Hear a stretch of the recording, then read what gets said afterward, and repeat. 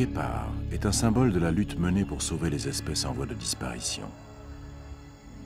Malgré les efforts de la communauté internationale, il est au bord de l'extinction.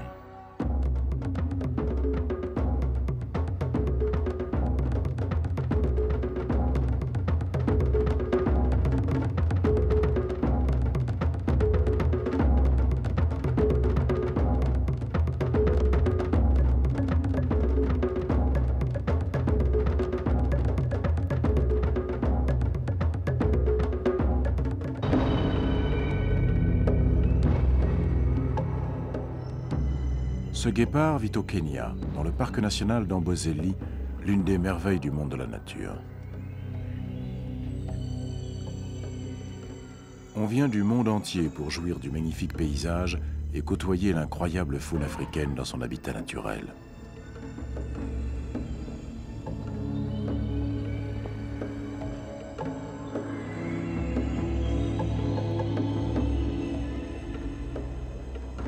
Malheureusement, le parc d'Amboseli, qui s'étend au pied de la plus haute montagne d'Afrique, le Kilimandjaro, voit une nouvelle menace peser sur sa faune et son habitat.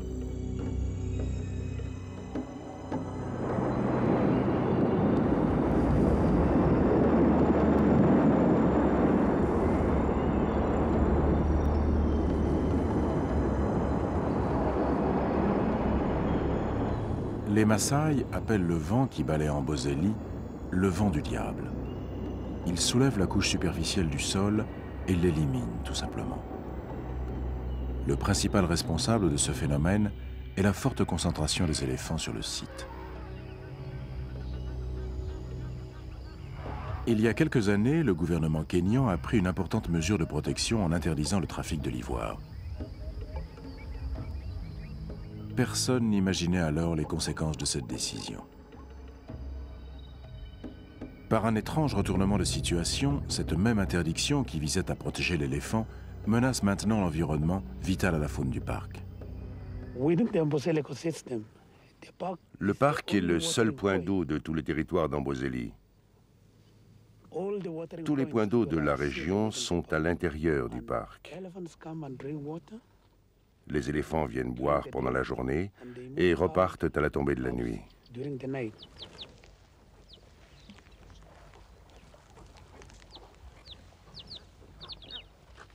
En l'espace de quelques dizaines d'années, les braconniers avaient réduit à quelques centaines une population qui se montait à des dizaines de milliers d'individus. Après l'interdiction du trafic de l'ivoire, les éléphants, qui sont très intelligents, ont compris qu'ils étaient à l'abri dans le parc et sont venus par centaines de la Tanzanie voisine. Ils se sentent en sécurité dans le parc. Ils viennent s'y mettre à l'abri jusqu'à la tombée de la nuit puis ils repartent.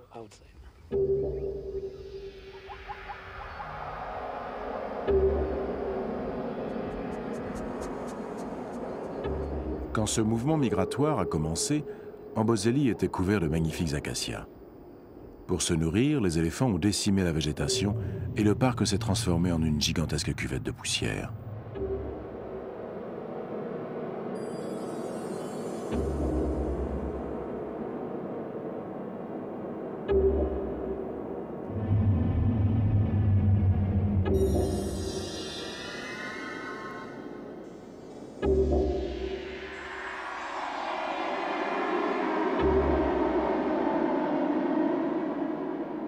Ironie du sort, les touristes qui ont remplacé les chasseurs aggravent ce problème de poussière, particulièrement quand ils conduisent hors des routes. En outre, on observe une forte augmentation de la salinité du sol. Le niveau hydrostatique s'est élevé au point de faire remonter à la surface des sels qui tuent le peu de végétation qui reste. Ce problème, ajouté à celui des éléphants et des touristes, entraîne une dégradation de l'habitat qui risque de devenir catastrophique.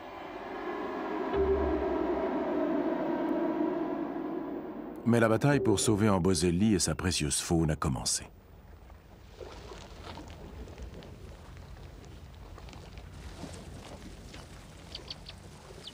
Maintenant que la menace des braconniers est plus ou moins écartée, le service de protection de la faune kenyane cherche un moyen d'encourager les éléphants à rester hors du parc. Mais cette démarche a son inconvénient. La communauté locale considère qu'ils sont une menace pour leur récolte et le service de protection de la faune doit aussi trouver un moyen d'apaiser ce conflit potentiel. À l'heure actuelle, nous partageons les revenus tirés de la vente des tickets d'entrée avec les communautés locales.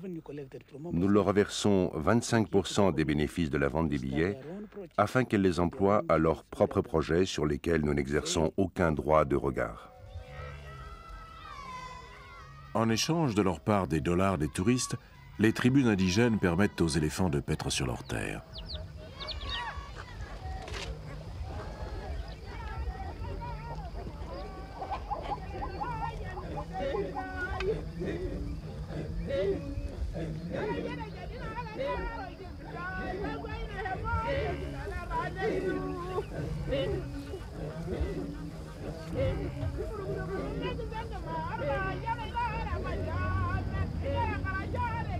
Mais il n'est pas nécessaire d'être une institution gouvernementale pour sauver les espèces menacées. Un organisateur de voyage a conçu un plan encore plus ambitieux pour sauver le parc. Il veut exploiter l'énergie des touristes soucieux d'écologie. Chacun plantera son propre acacia. L'objectif est de replanter au moins un million d'arbres. Ils couperont la force du vent ce qui empêchera la formation de la cuvette de sable et permettra de rendre au parc d'Ambozelli son ancienne splendeur.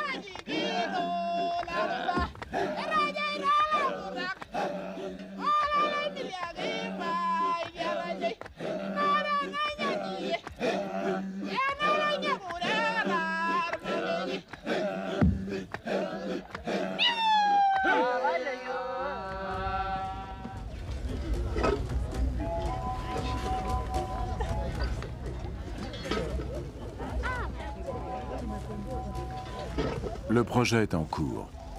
Le jour de l'inauguration du premier arbre, les Maasai de la région sont venus se joindre aux touristes pour célébrer le renouveau d'Ambozelli. Notre premier objectif était de planter un million d'arbres en 50 ans.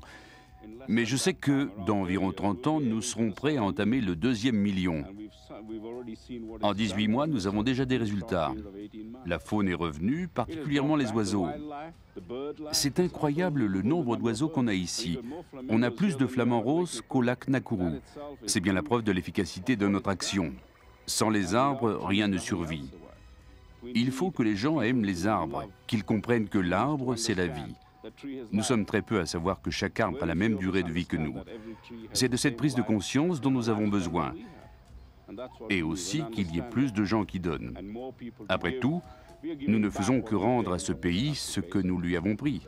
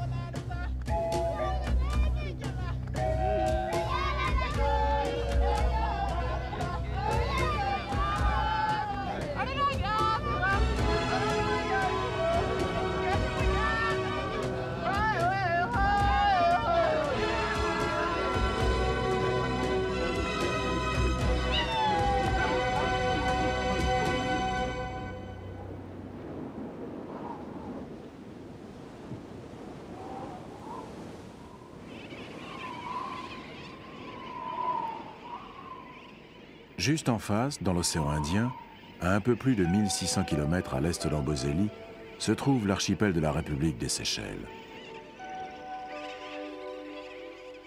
C'est l'un des endroits les plus romantiques de la planète. Composé d'environ 115 îles, ce paradis tropical était totalement inhabité il y a un peu plus de 200 ans. Les Seychelles, qui avaient été reprises aux Français par les Anglais en 1874, se constituèrent en république indépendante en 1976. Ce petit pays de 70 000 habitants, les Seychellois, prit conscience bien avant son temps de la valeur de son héritage naturel. Comme vous le savez, notre souci de l'environnement ne date pas d'hier. Il s'est manifesté dès 1960, quand un groupe de Seychellois s'est associé à une équipe de scientifiques étrangers pour informer le monde de la grandeur et de la beauté des Seychelles.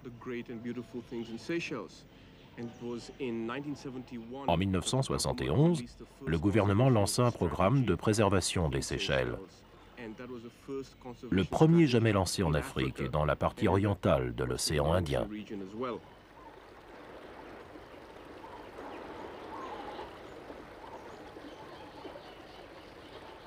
L'un des plus beaux paysages des Seychelles est la vallée de Mai sur l'île de Pralin. Elle est verte, luxuriante, d'une beauté un peu primitive. D'une telle beauté qu'en 1881, le général anglais Gordon de Khartoum se prit d'une véritable passion pour elle.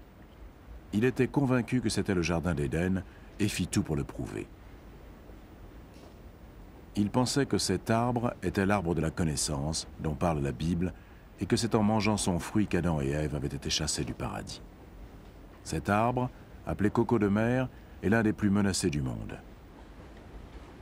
À une époque, la presque totalité de l'île en était recouverte. C'est son fruit, à la forme érotique, qui provoqua sa perte. Les noix que l'on retrouvait échouées sur les plages de l'océan Indien allaient chercher un prix élevé. Au XIIIe siècle, elle valait jusqu'à 4000 florins d'or.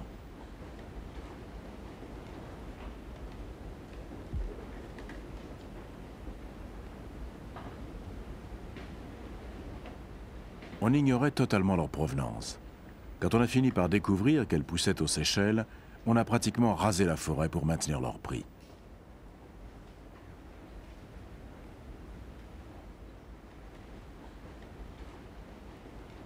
L'arbre mâle présente aussi une ressemblance avec le corps humain. Son chaton rappelle l'organe sexuel masculin.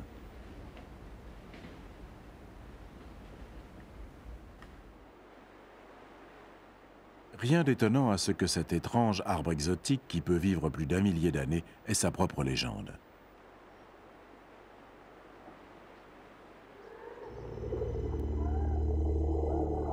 On raconte que les nuits de pleine lune, l'arbre mâle se déracine et avance jusqu'à la femelle pour lui faire l'amour. Toutefois, la légende dit aussi que le témoin de ces ébats amoureux ne vivra pas assez longtemps pour raconter son histoire.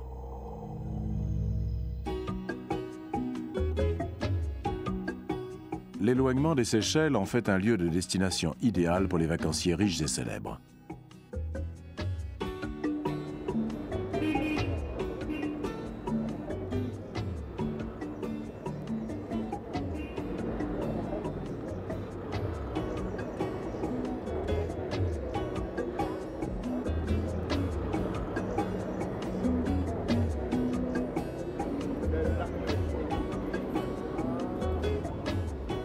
Seychellois se nourrissent principalement de poissons, de riz et de fruits. Ils sont aussi très friands de la chair de tortue. Les artisans locaux veillent à ce que rien ne se perde. Aux Seychelles, nous avons un problème de surexploitation de certaines de nos ressources, comme les tortues. Depuis une centaine d'années, cet animal très rare s'est encore raréfié parce que les gens n'ont pas compris son cycle de vie. Ils l'ont traité comme un poisson alors que c'est un reptile qui met 60 ans à atteindre sa maturité sexuelle. Il est très facile de l'exploiter. C'est devenu un problème mondial, bien plus grave que celui des éléphants d'Afrique. On est arrivé à préserver l'éléphant au point que sa population s'est élevée à un niveau suffisant pour assurer sa survie mais personne n'a réussi à faire la même chose pour la tortue. Nous avons aussi un problème de braconnage, et l'expérience nous a montré qu'il ne peut pas être résolu par une simple loi. Il faut éduquer les gens, leur faire prendre conscience du problème. Il est très important de les impliquer dès le départ. Nous travaillons sur un projet en accord avec la Banque mondiale qui envisage le problème sous un angle évolutionniste. Il tient compte des artisans dont les seuls revenus dépendent de l'écaille de tortue et prévoit de leur offrir une compensation pour abandonner cette activité. Il leur propose également une formation pour travailler sur un autre type de matériaux. Parallèlement, nous engageons des études et des recherches biologiques et nous créons des programmes éducatifs. Ensuite, nous promulguerons une loi interdisant toute vente de produits dérivés de l'écaille de tortue. Au cours des 20 dernières années, nous avons mené plusieurs études sur les oiseaux, les poissons, la faune des Seychelles. Mais nous n'avons pas suffisamment œuvré pour aider les Seychellois à préserver leur héritage. Nous avons commencé à nous occuper de ce problème il y a deux ans seulement, quand le gouvernement a créé le service de l'environnement et des parcs nationaux. Jusqu'à présent, c'était une prérogative des étrangers et nous avons attendu jusqu'à aujourd'hui pour commencer à former un petit groupe de spécialistes de l'environnement. Le programme de formation auquel je participe fait partie du plan de gestion de l'environnement des Seychelles. Il s'adresse aux hommes de terrain, en particulier aux rangers des parcs aquatiques et terrestres des Seychelles. Le parc aquatique de Sainte-Anne, qui subit la pression d'un nombre grandissant de touristes, est l'un des sites surveillés par les rangers. Sainte-Anne a été le premier parc aquatique de tout l'océan Indien. Le programme de formation concerne principalement la surveillance des récifs de coraux. Quand on a commencé à ouvrir des parcs aquatiques, on n'a jamais vraiment évalué leur état. Celui de Sainte-Anne accueille de nombreux touristes et il est situé près d'un port. Il est victime de la pollution, des encres qu'on y largue, des touristes qui effleurent les coraux avec leurs palmes et tout ce genre de choses. Nous avons besoin d'évaluer l'état des coraux. Notre technique est à peu près la même que celle qui est employée pour surveiller les oiseaux. Il nous suffit d'étudier quelles variétés de poissons sont présentes pour connaître la bonne santé de leur habitat. En gros, plus il y a de poissons, plus la barrière de corail est en bonne santé. Avec les rangers, nous avons étudié quatre ou cinq groupes de poissons en essayant d'identifier chaque espèce, ainsi que les divers types de coraux, leur superficie, leur nombre, puis nous avons relevé toutes ces données sous l'eau.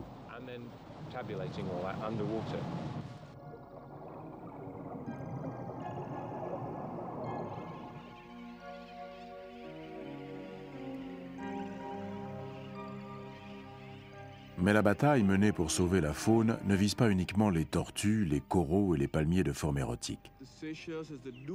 Les Seychelles ont la réputation équivoque d'abriter certains des oiseaux les plus rares du monde. Si j'emploie le mot équivoque, c'est parce que nous nous sommes souvent vantés de nos oiseaux rares, mais ils sont aussi une source de problèmes. Car quand un oiseau est rare, c'est probablement qu'il est menacé d'extinction. Nous avons enregistré quelques succès dans notre programme de protection. La bouscarle chanteuse de l'île de Cousin en est un exemple. Dans les années 60, les écologistes ont découvert qu'il ne restait sur l'île de Cousin, une petite île granitique proche de Pralin, que 20 à 25 bouscarles chanteuses. Or, c'était le seul endroit du monde où on pouvait les trouver.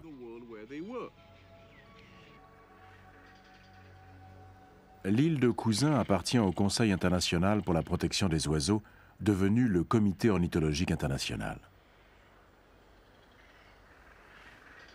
Pour sauver la bouscarle chanteuse, on a lancé un programme de réaménagement de l'habitat qui prévoyait de remplacer les cocotiers par la végétation d'origine.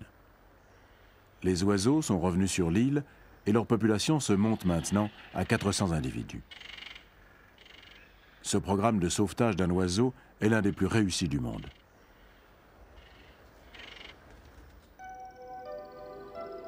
L'extraordinaire succès des Seychellois dans le sauvetage de la bouscarle chanteuse est en partie dû à l'absence d'animaux sauvages sur l'île de Cousin. C'est l'un des seuls endroits au monde où il n'y a ni rats ni chats.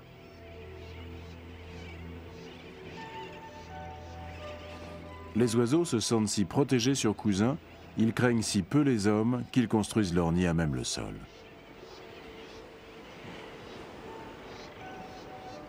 Cette petite boule de plume est un phaéton éthéré. Sa mère, sachant que son poussin est en sécurité, est partie lui chercher à manger.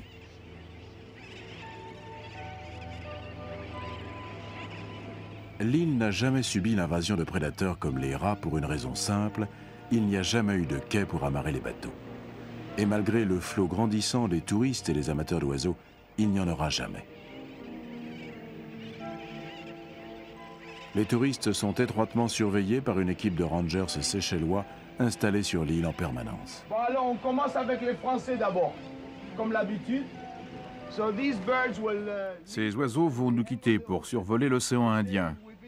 Ils restent au-dessus de l'océan Indien et ils ne vont nulle part ailleurs, sauf si le vent les pousse ailleurs, ce qui est très triste. Vous voyez, depuis ce matin, ils se dépêchent de construire leur nid. Ils sont un peu en retard à cause du temps.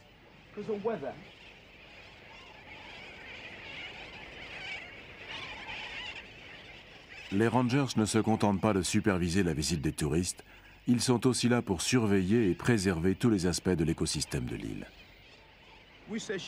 Les Seychellois ont participé à chaque étape de ce programme.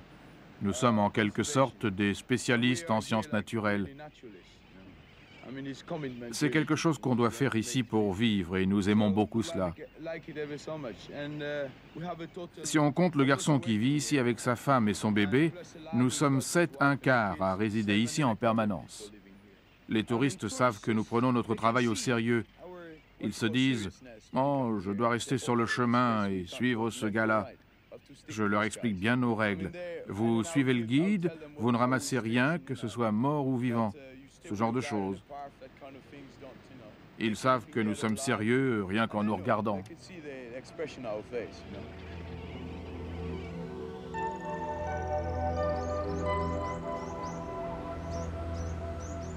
Sur l'île de Frégate, une autre bataille pour la préservation est engagée. L'homme qui mène le combat vit sur l'île comme un ermite. Originaire d'Écosse, Niall McCulloch vit dans un monde extraordinaire qu'on dirait sorti de l'imagination de Tolkien. Avec sa végétation et ses animaux étranges, c'est un vrai paysage de conte de fées.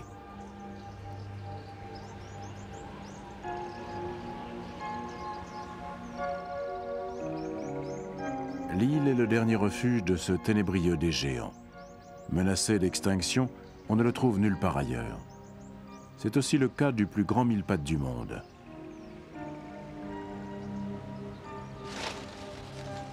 Mais de tous ces animaux, le plus fantastique est peut-être la tortue géante d'Aldabra. Cette espèce était très répandue dans les îles de l'océan Indien, mais à l'instar du dodo de l'île Maurice, elle a été décimée par les chasseurs. Aujourd'hui, ces animaux en voie de disparition, qui peuvent vivre jusqu'à 100 ans, ne se trouvent plus que dans quelques îles de l'archipel des Seychelles. Mais Neil a une autre mission dans la vie, sauver l'un des oiseaux les plus menacés du monde. C'est le chama dial des Seychelles, qui ne compte plus que 30 survivants.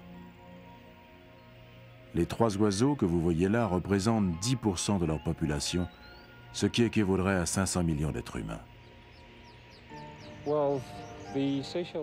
Le dial des Seychelles était probablement très répandu dans le centre de l'archipel.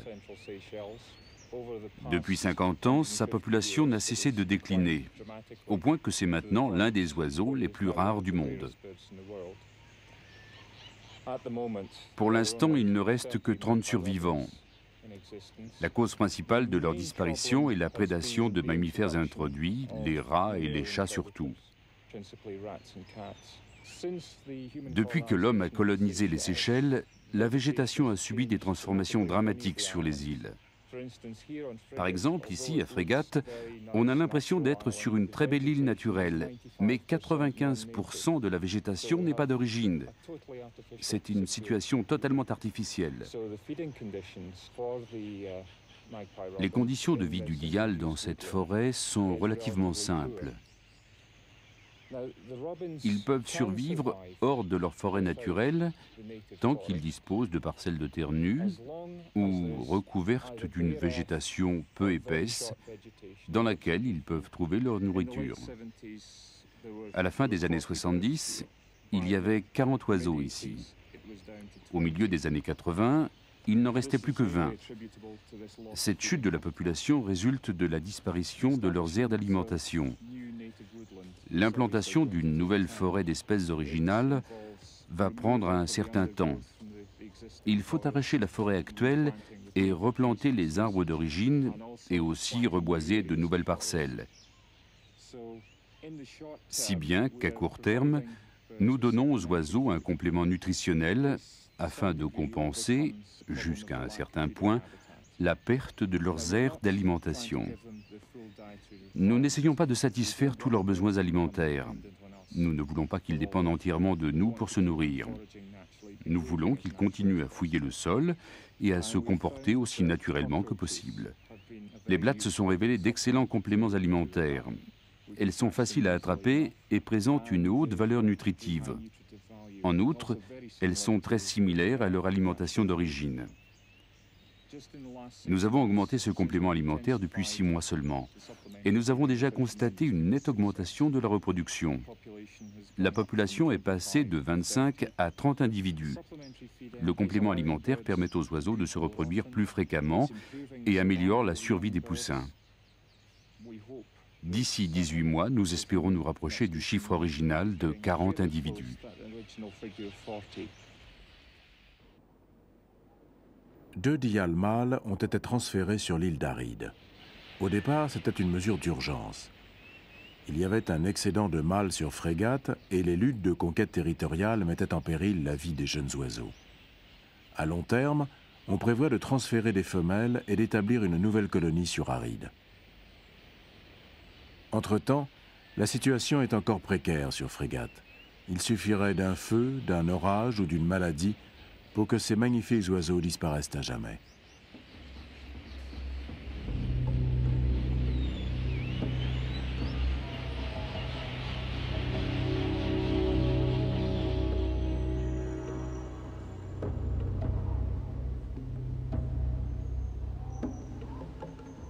Le chitrek veuve se débrouille beaucoup mieux. Probablement l'un des plus magnifiques des oiseaux rares des Seychelles, le chitrek se trouve uniquement sur la minuscule île de la Digue.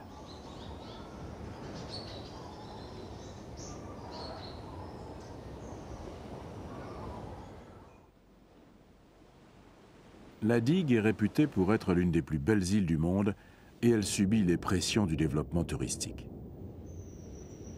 Le chitrek veuve dépend entièrement des marais et des forêts de la digue pour trouver sa nourriture. Le déboisage et l'assèchement des marais en faveur de la construction sont largement responsables de la réduction de sa population. Il ne reste qu'environ 70 de ces magnifiques oiseaux.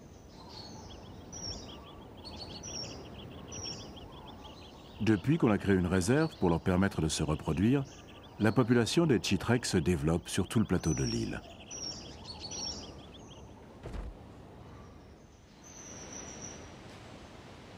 Le bureau de renseignement touristique contribue à faire connaître et apprécier ces oiseaux qui sont devenus l'emblème de l'île.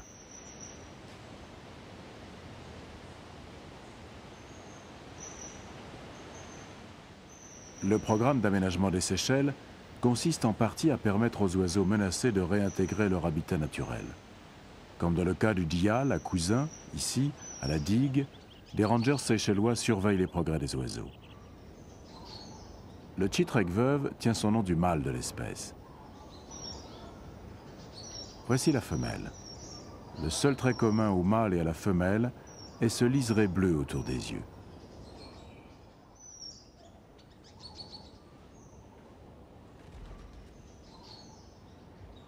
Même si on le voit assez couramment voler dans la réserve, c'est la première fois qu'un mâle a été filmé sur son nid. Les Seychellois peuvent être fiers de leur réussite dans la protection de l'environnement. Je crois que nous avons quelque chose à apprendre du reste du monde. Mais ce que le monde peut apprendre de nous, c'est notre manière de gérer notre environnement. Nous sommes très proches de notre environnement, contrairement aux habitants des villes de New York, Londres ou Paris. Il nous tient à cœur. Les Seychellois vivent tous près d'un arbre, d'une plage ou d'une rivière. Et je pense que cette intimité avec la nature est une leçon qui doit être retenue par le reste du monde.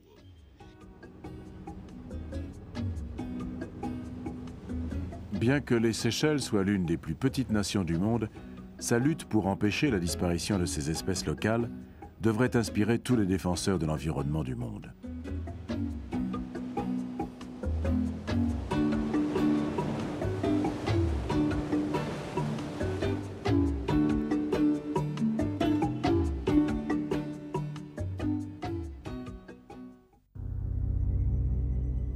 Sud des Seychelles se trouve une autre île paradisiaque, l'île Maurice. Elle était inhabitée jusqu'à ces 400 dernières années. Elle tire l'essentiel de sa réputation du dodo qui a disparu à présent. Les Mauriciens appellent leur île la perle de l'Orient. Ses plages de sable blond, ses hôtels de luxe et ses paysages d'une beauté saisissante en font une destination touristique idéale.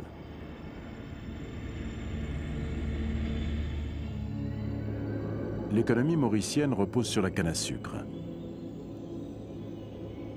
Les colonisateurs britanniques et français couvrirent l'île de plantations de canne, ce qui entraîna la destruction de la quasi-totalité de ces espèces endémiques de végétaux et d'animaux.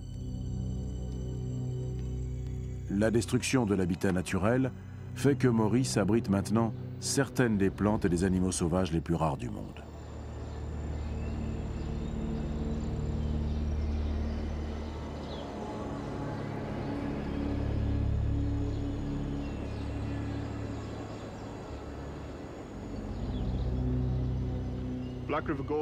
Les gorges de la rivière Noire sont le seul site réellement sauvage de cette île.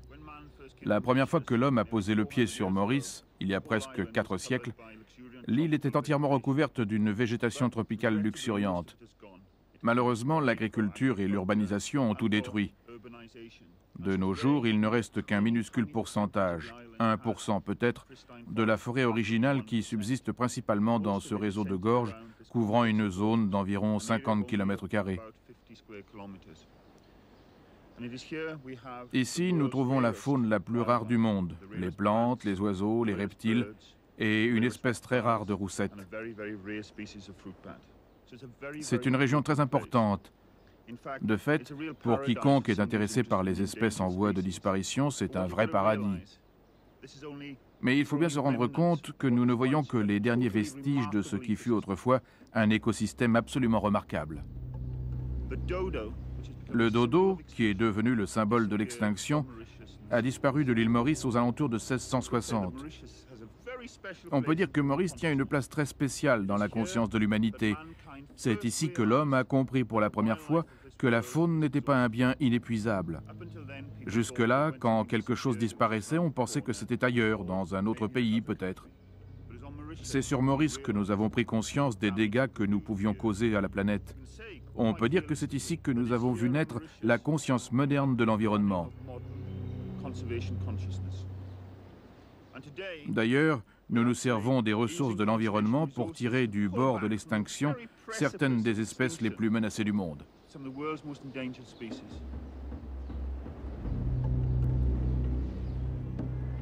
Il y a 15 ans, Carl Jones fut envoyé ici pour clore le programme de sauvetage de la cresserelle de Maurice. Même le Fonds mondial pour la nature avait abandonné tout espoir, mais Carl refusa de baisser les bras. Il est toujours à Maurice.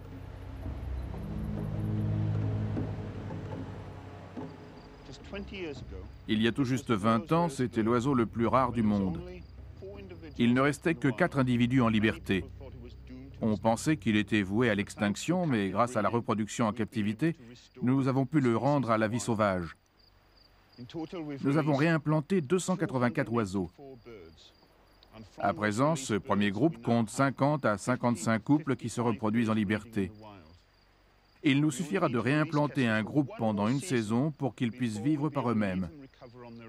Pour moi, c'est bien plus qu'un merveilleux exercice de préservation. Ces oiseaux sont devenus mes amis. J'ai appris à les connaître personnellement et certains d'entre eux sont très amicaux.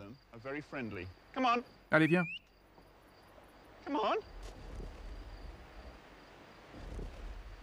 Bravo. Ce que j'aime dans cette crécelle, c'est que non seulement je l'ai connue quand elle n'était qu'un œuf, mais j'ai aussi connu ses parents et ses grands-parents. J'ai suivi ces oiseaux à chaque étape de leur vie, comme s'ils étaient mes propres enfants. Sous l'emblème du dodo, la Fondation de Jersey pour la préservation de la faune, créée par Gérald Durel, est l'un des plus fervents partisans de la lutte des Mauriciens pour sauver leur faune. Nous n'arriverons jamais à rendre l'île Maurice telle qu'elle était avant l'arrivée de l'homme. Mais c'est l'héritage des Mauriciens et nous sommes là pour les aider à le gérer correctement. L'une des particularités de nos projets est qu'ils sont tous menés en partenariat avec le gouvernement local. Ils comportent un programme de formation qui implique l'envoi d'une de nos équipes sur place. Le tout premier diplômé de ce programme de formation est justement un Mauricien. J'ai passé presque dix mois à Jersey. Ce fut une expérience très enrichissante, car j'ai étudié plusieurs secteurs. Les reptiles, les oiseaux et les mammifères et aussi tout particulièrement les espèces de l'île Maurice, qui font partie du programme de reproduction de la Fondation de Jersey. Après avoir été formée à Jersey, une jeune étudiante canadienne, Monica Robel, a commencé son entraînement sur le terrain à Maurice. Elle travaille entre autres sur la roussette de Rodrigue.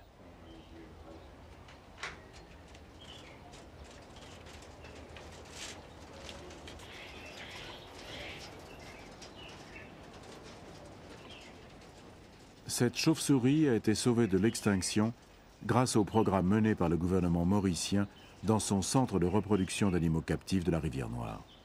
Cependant, ce genre de réussite est impossible à atteindre sans le soutien des gouvernements et des organisations internationales, telles que la Fondation de Jersey pour la préservation de la faune.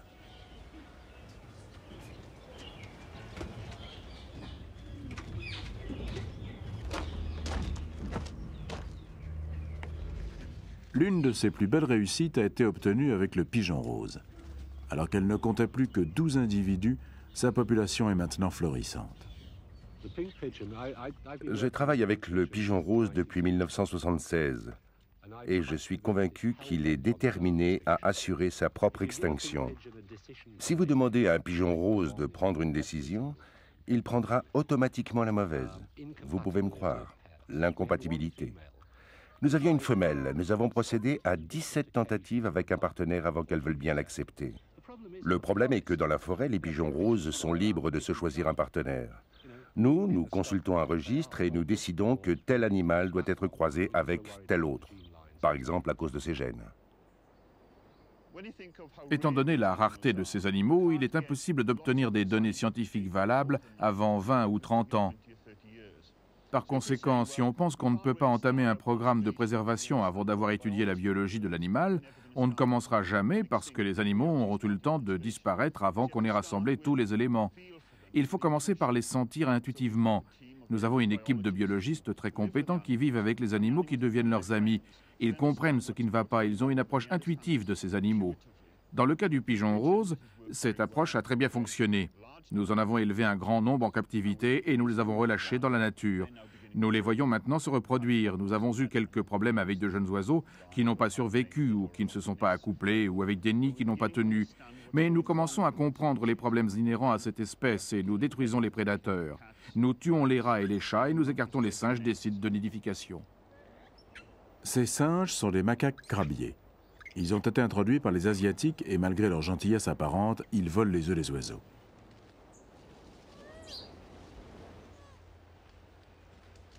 Les singes ne sont pas les seuls à menacer les oiseaux. Comme partout ailleurs, les chats sauvages et les mangoustes sont des prédateurs redoutables.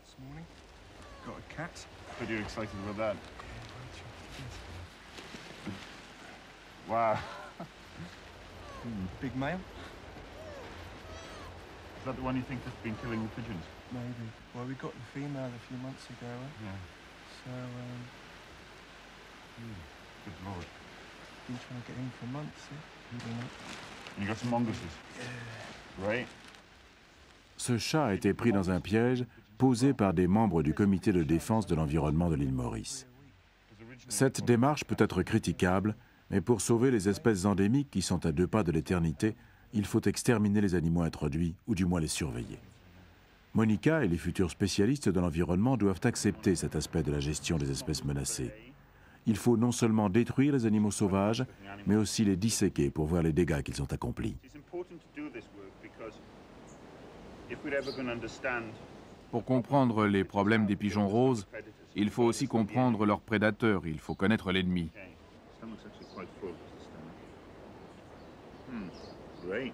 Formidable. On ne sait jamais ce qu'on va trouver. Je vais commencer par rincer le contenu des intestins, puis je le placerai dans cette cuvette.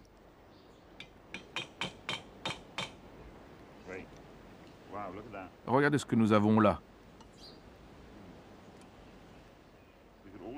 Il y a plein de choses là-dedans.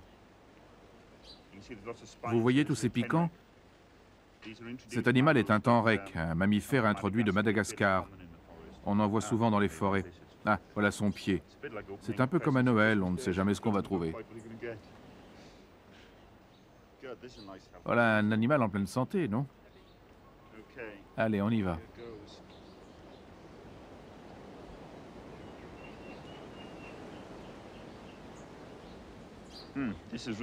C'est très intéressant, il y a des oiseaux là-dedans. J'ai l'impression que ce chat est l'un des responsables de la destruction des pigeons roses de Pigeonwood. Nous avons bien fait de l'attraper. Mais nous avons perdu une douzaine de pigeons au cours de l'année. C'est environ le tiers de leur population. Cela signifie la disparition d'un grand nombre d'oiseaux.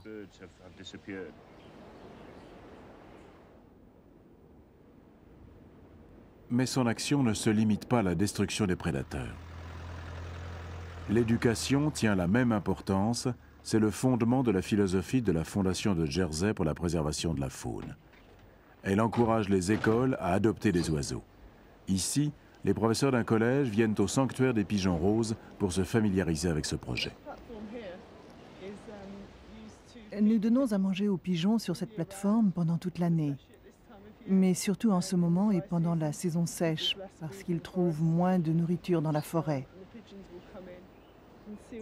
Vous voyez trois d'entre eux en ce moment.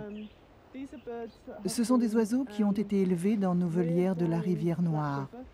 Ils ont été apportés ici, dans la forêt macabre, pour qu'ils s'accouplent et qu'ils commencent à se reproduire. On explique aux professeurs comment on surveille les nids.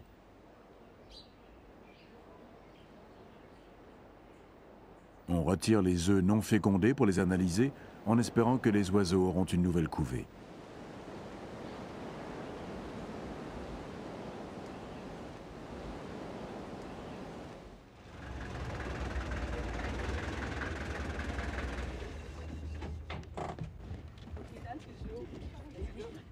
Le comité de défense de l'environnement de l'île Maurice sait qu'il est important d'enseigner l'environnement aux jeunes. Après tout, l'avenir de la planète dépendra des décisions qu'ils prendront plus tard.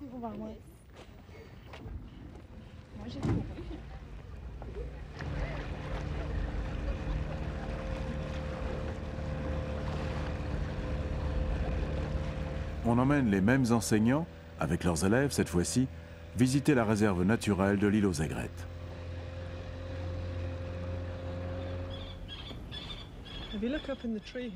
Si vous regardez en haut de cet arbre, vous verrez une cresserelle de Maurice. Celle-ci est née aux États-Unis, à Boise, dans l'Idaho. Elle a été transférée à Maurice et nous l'avons relâchée sur l'île aux aigrettes. Nous faisons ceci depuis plusieurs années. Certains oiseaux restent sur l'île, d'autres partent vers le continent. Celle-ci est restée. C'est une femelle qui vit dans ce refuge que nous avons installé pour elle. C'est votre école qui l'a sponsorisée. C'est grâce à vous que nous avons acheté cette boîte et que nous l'avons placée dans cet arbre. La cresserelle a l'air de s'y sentir très bien. On explique aux enfants que l'île abrite aussi certaines des plantes les plus rares de la planète. Mais elles sont étouffées par la masse des acacias introduits. Le plus ironique, c'est qu'on les replante dans le parc d'Amboseli au Kenya, alors qu'ici on les arrache pour donner une chance de survie à la maigre végétation originelle.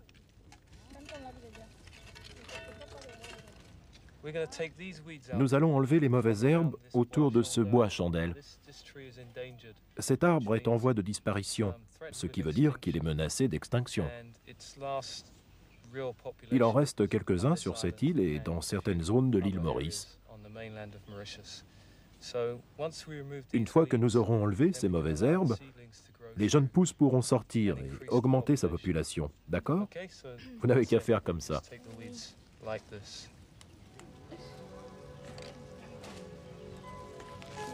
Pendant que le combat se poursuit sur le terrain, on cultive les plantes rares dans les pépinières gouvernementales jusqu'à ce qu'elles puissent être réintroduites.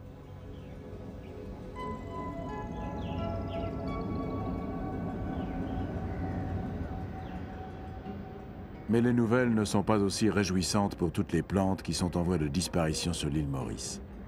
Voici l'arbre le plus menacé de la planète. Il n'en reste qu'un exemplaire.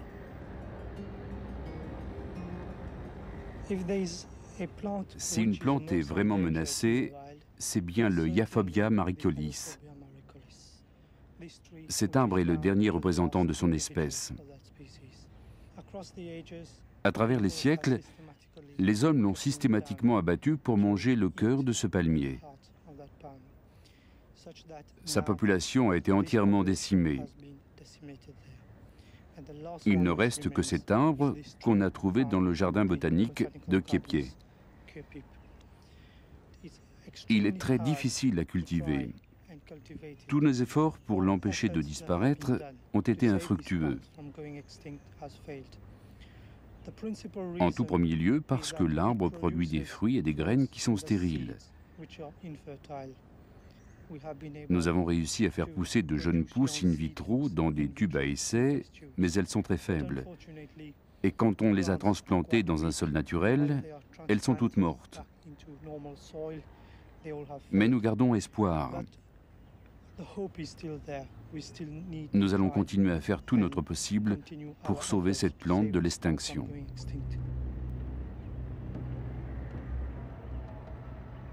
Maurice n'a pas seulement le privilège de posséder l'arbre le plus rare du monde, elle abrite également un oiseau qui est peut-être lui aussi le plus rare du monde.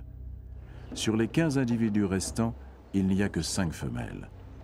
C'est la perruche de Maurice. Ce couple est le premier à se laisser filmer en liberté. La femelle est sur la droite.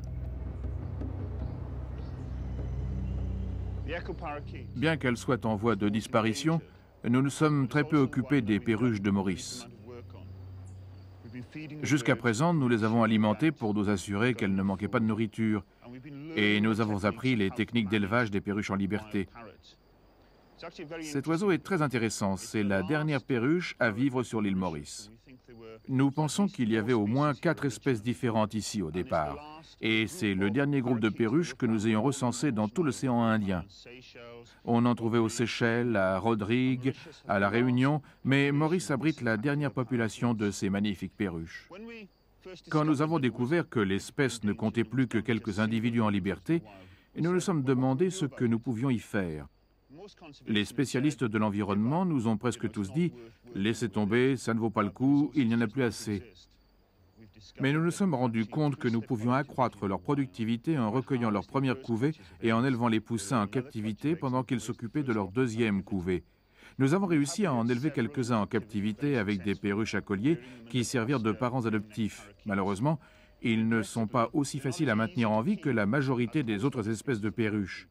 Ce sont des oiseaux en voie de disparition qui ont tout un tas de problèmes. Certains de nos oiseaux sont morts en captivité.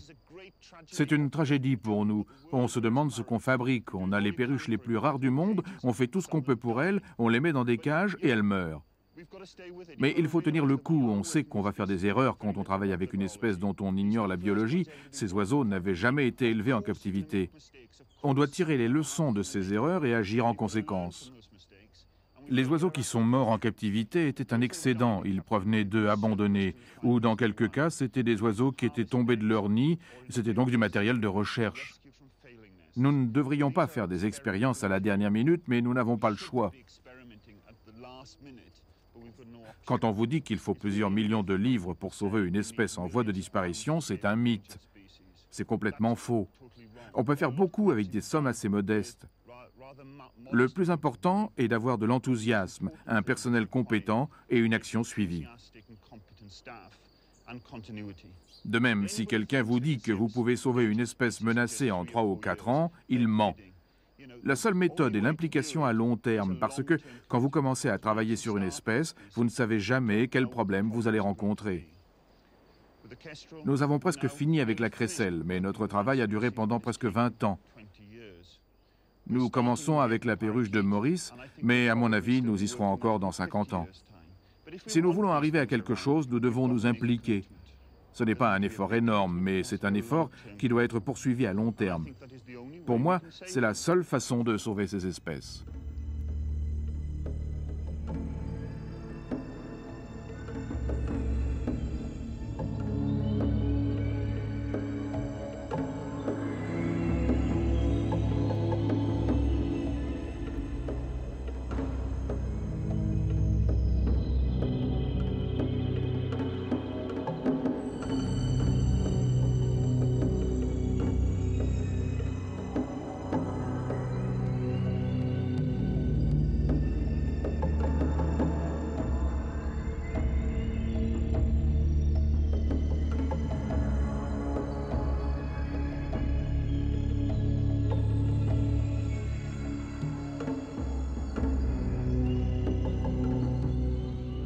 Tandis que nous regardons Karl en compagnie de ses cresserelles, pensons à ceci. Sans des hommes comme Karl et ses collègues, l'endroit où nous voyons évoluer cet oiseau ne serait qu'un espace vide pour l'éternité.